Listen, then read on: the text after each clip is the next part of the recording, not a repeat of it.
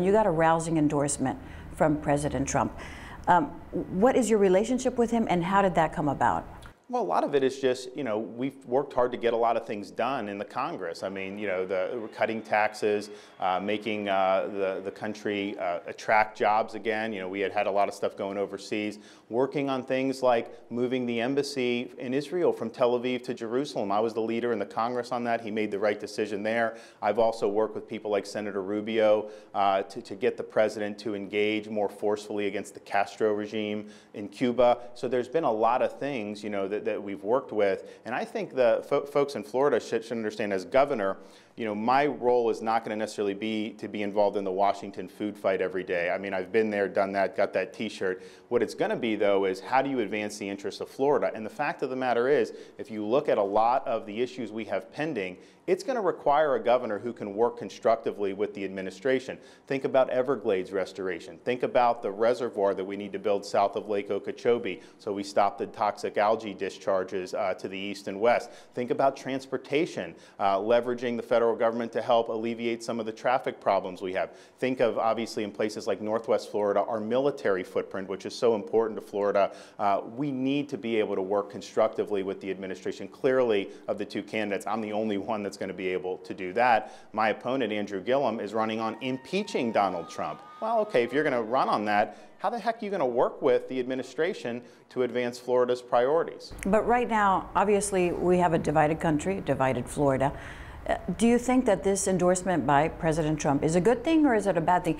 It helped you win the primary, but what about in the general election? well, I think it's a good thing for the precisely the reason I just said. I mean, as governor, how are you going to be able to advance Florida's priorities? And the fact of the matter is, if we need to work with the federal government, which we're going to need to do, you want to have a governor that's going to be uh, able to get that done. And so I can go not just to the president, but I can go to key people in the administration who I've developed a relationship with. I mean, for example, when we did this water resources bill this year that just passed the Senate, um, one of the key issues was are we going to do a federal match for the reservoir that the state legislature authorized in 2017? They authorized it, they funded it, we need the federal government to come in. So I was able to work with key people in the administration to get that into the water bill. So that's going to be signed into law. We'll get some federal funding for it. And then as governor, what I got to go in and do is say, listen, this is important for Florida. We have to fix our water problems. Uh, we need to streamline this thing and move forward. And I have a clear pathway to do it. So I think from that perspective, I think voters will look at it, regardless of what they think of the DC food fights that go on every day, and say, okay, what do we need to do to advance Florida's priorities? And there are clear things we need to work with the federal government on. One of the things you touched upon as well, red tide. What would you do differently, and how would you handle that now? So, well, a couple things. One is, you know, my appointments to the water management boards, these are going to be people that understand when you have things like toxic algae, when you have the exacerbated red tide, that has a huge economic effect on our coastal communities. I mean, you know, people who are involved in tourism, fishing, uh, restaurants, it had a really negative effect in places like Southwest Florida this year. So if you don't understand that, I'm just not going to appoint you to the boards. Uh, the other thing is, is how much the toxic algae affects the red tide, I think is an open question. I'm open to the su suggestion that maybe that did make it worse. So dealing with the dischar toxic discharges and the algae that have been coming out of Lake Okeechobee, to me, is something that we've got to do right away. The reservoir- Is that a priority for you? Absolutely, big priority. Because here's the thing, Florida's water quality and our environment you know, I, am a big, I, I, like being outdoors and all that, but, but it's central to our way of life and our economic future. I mean, if we lose that, uh, Florida's not going to be Florida anymore. So I view it as very important. If you want to continue to build a strong economy, uh, you have to have a healthy uh, water system, healthy environment. And so, you know, I've been somebody that's been, been very uh, outspoken on that. Um, the red tide obviously is naturally occurring to a certain extent, but we need to leverage some of the ingenuity here in Florida. Um, I have people giving me ideas all the time. I've said my first foreign trip is going to be to Israel, uh, partially because I want to continue the relationship, the trade, and, and obviously we have a lot of affinities uh, for, with Florida and Israel. But I also want to get, deal with some of these Israeli sites. Say, hey, can you partner with some folks in Florida so we can fight uh, the red tide? Uh, give us ideas to fight fight the red tide. So ultimately, dealing with Lake Okeechobee, I think, is, is urgent. And if we can do that, I think that probably will help with the red tide. But I also want other um, ideas about what we can be doing to make sure that although it's naturally occurring, that we're not having these massive fish kills and the really the foul odor uh, that just made Florida, you know, not Florida for this summer. We're talking about the environment, and we know where the president has stood in the past. He did an about face this past week by saying that climate change is not a hoax. Where do you stand on climate change? Well, look, I, I, definitely believe that, that our activity affects the environment. I don't know to, to what extent. I mean, for example, in South Florida, I think we have a real serious problem with the increased flooding and the higher water levels. Now, I don't know whether that is because of human activity, whether it's contributed, whether it's the primary cause. To me, it's like we've got to fix that. I mean, you would be a fool not to want to address that uh, because I think it affects people's way of life and it also affects uh, the economic vitality of, places like Miami going forward because people, you know, if we're trying to recruit businesses from other states, I don't want someone to say, oh, well, they're going to be underwater. They don't even have their, their act together. To no, we're going to do resiliency. Uh, uh, to make sure that we're fortifying, you know, our coastlines and doing what we can uh, to protect against uh, against rising seas. So uh, I look at. So you would do your due diligence on that because oh, that's something course. that affects tremendously, especially of South course, Florida. Yes, I mean, and that's the thing the water is rising. Like that's just the fact down here. You talk about the elderly and Floridians. Uh, according to one of the latest NBC News Marist polls, um, on most people's minds, priority is healthcare. Do you have right now uh, something in place to help the healthcare system in sure, the state of Florida? absolutely. Florida. So I've been endorsed by the Florida Medical Association, uh, which is the gold standard here in the state of Florida. Uh, I'm going to do several things. One is, you know, I believe in, in, in, this concept called the right to shop. I mean, think about it. If you need a procedure somewhere and you go to a building uh, down the street on the left side of the street, it may cost $5,000. But if you go two blocks the other way to a different building, it could cost $12,000 for the same thing. So what you do with Right to Shop is you combine price transparency with incentives to shop through your insurance plans. And so basically, consumers would have an incentive to shop for the best deals, and then if they did that, they would then get money back. States like Maine have done it, and it's been helpful at reducing costs. And I think that's with, with healthcare. I mean, obviously, it's about you know, your health, you need it, but it's really become such an economic issue because the prices are so high, and the premiums and the deductibles have gone up. So, so doing right to shop, fostering things like association health plans, which the administration recently put out a rule, green lighting. I think that's an opportunity for Florida to really be able uh, to give people some options that are more affordable. And then, of course, things like medical liability reform that's been struck down in the courts. I think that having good judges in there, they could uphold that. That will help doctors not practice as much defensive medicine, and I think that that will help lower costs. But I think what you don't want to do um, are things like Andrew Gillum is running on. He's running on basically government takeover of health. They call it Medicare for All. But the fine print, you read it, it actually gets rid of Medicare for seniors. It moves all seniors onto a single payer plan. If you have insurance through your job, that would be illegal. It would be abolished, and you would get forced on a government single payer plan. That would require massive tax increases, but you would never be able to actually make it work fiscally, so it would lead to rationing. And so I think if you went down the road that Gillum wants to do, senior citizens, the benefits they earn through Medicare, would be taken away. They'd be forced on single payer. I think the quality of care would go down, and I think they would be probably the people who would be most victimized by the rationing. That's what happens when you have the government take over this. And stuff. can you do this on a state level? Well, what he said was he would want to do a confederacy between California, New York, and Florida. So think about that. You're going to abolish everyone's private insurance. You're going to, you know, these are people, they're earning this through their jobs. They're working hard for this. So you're going to dump them on a single payer. That's going to require obviously massive tax increases. But then we're going to send all the money from Florida to California and New York.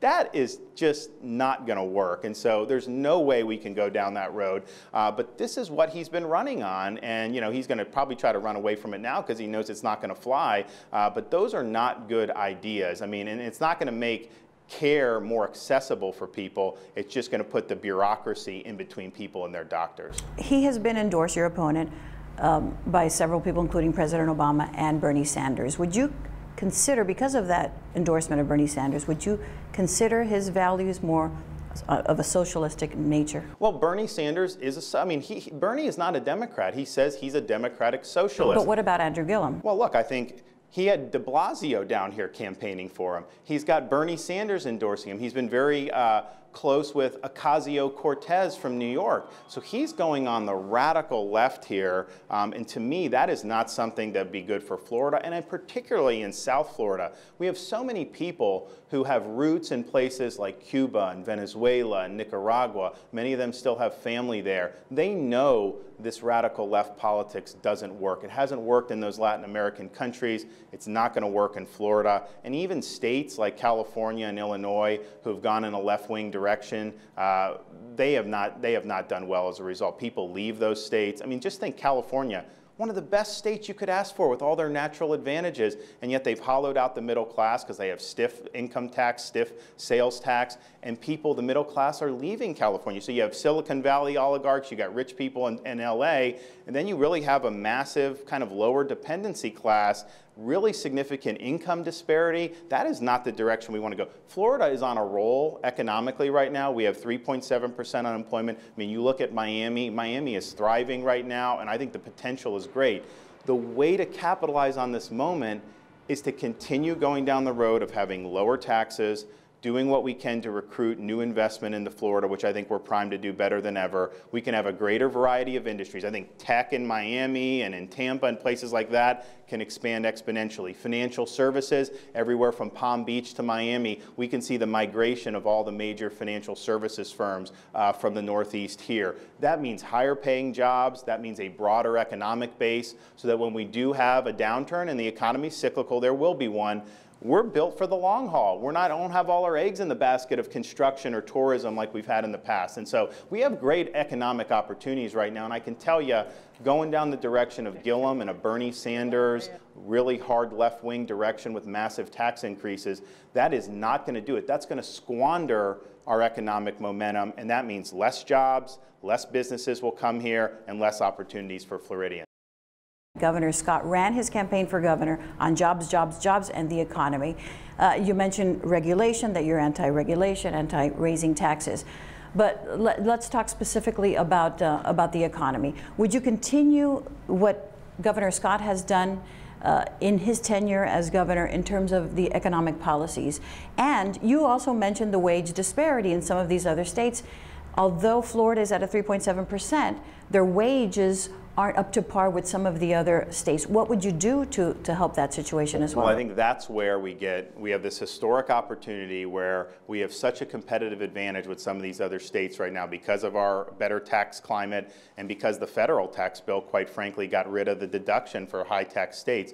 So there's a huge incentive to come to Florida. So as you're building these, these wider variety of industries, we're building technology, building financial services, building manufacturing, that is the way you end up with higher wage jobs. And I think for me, the higher wage jobs, growing them in Florida and bringing them in from, from other states is going to be the top priority because I think when you're doing that, uh, we have the number one ranked university system in the country right now, but um, I don't want people to graduate from UM or University of Florida and they think they have to go to Atlanta or Charlotte. I mean, I want all those opportunities here. So we can do that, um, but you got to have a, a climate that's attracting investment into Florida. With Andrew, what he wants to do is raise the tax 40% to make our rate higher than New York. Well, that's going to prevent people from wanting to bring investment activity to Florida. And so that would be a huge mistake. We don't want to go down that direction. But ultimately, a broader based economy, a wider variety of industries, that's the way you're going to get higher wages and higher paying jobs. You mentioned the school system. There's going to be a referendum on the ballot um, come November, 362 for Miami-Dade County Public Schools. They want to raise taxes in order to get more security into, into the school systems in Miami-Dade County, as well as uh, to raise the wages for the teachers. Is this something that you would be in favor of? So here's what I'm going to do. We're going to have more money available from the state level because uh, one of my proposals is to require 80% of all education spending. How do you get to that number? In, be spent in the classroom. Well, I mean, we're going to have to do a series between requirements and incentives. We're going to have to combine those. But at the end of the day, you know, we're at like 72% right now. If you got to 80%, you know, that would free up over a billion dollars. And, and, and the way we do it in Florida is the, the school districts are the ones that determine the teacher salaries. So having more money for them to be spent either directly on students or directly on teachers would give them the ability to recruit teachers at higher salaries, increase uh, salaries, but I'd also say that with, the teacher, I, am supportive of a program that the state has done that goes directly to teachers called the Best and Brightest program. That's provided bonuses of up to $7,200 uh, for high performing teachers. And actually, the vast majority of teachers in Florida qualified for at least some bonus money. That does not have to go through the school district, that's directly from the state. Uh, so that's a good use of money because, you know, and, and you know, my, my opponent Andrew uh, Gillum, he says he's going to raise the teacher salaries. One, you don't do that from the state, it's got to be done locally. Those are negotiations between unions and the school district and all that. But he opposes the best and the brightest program. I mean, the unions are in court trying to kill it right now. Um, and so, what? You have a teacher who gets a $7,200 bonus and you want to get rid of that? I mean, to me, that's not the right way to go. So, yeah, I think that we need to make sure that we're recruiting uh, good teachers. And then we also have to be cognizant of the fact that you know, teaching in Dade County is different than teaching in Hamilton County in terms of the cost of living.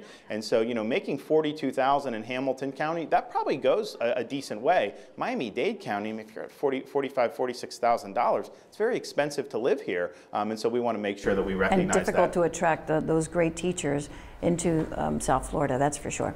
I want to talk about safety in the schools. Of course, after Marjory Stoneman Douglas, gun reform has been uh, once again at the center of debate. Uh, Governor Rick Scott signed a bill. Is this something that you would have signed, and what would you have done differently after? Well, I, would have approached it differently. I mean, so. But would you have signed that bill as is that Governor Scott did? Well, I would not have signed the gun because here's the problem with the gun gun restrictions. It's a blanket ban up to 21.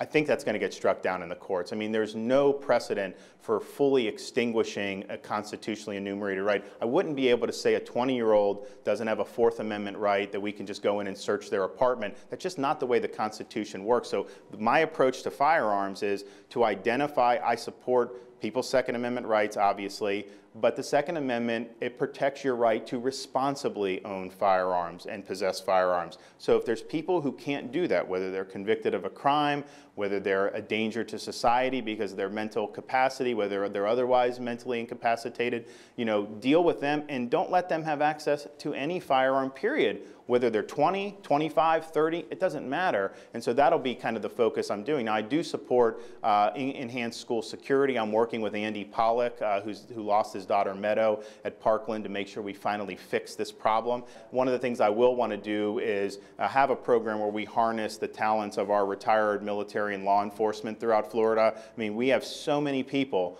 who are retired in, those areas who I think would be willing to help out, maybe on a volunteer basis. Maybe you can do it, you know, with some de minimis money. But I think harnessing the communities to help protect our schools is something that we definitely could do, and I think it would be effective. I want to talk about something that you said after the primary and the day before uh, that you got attacked on.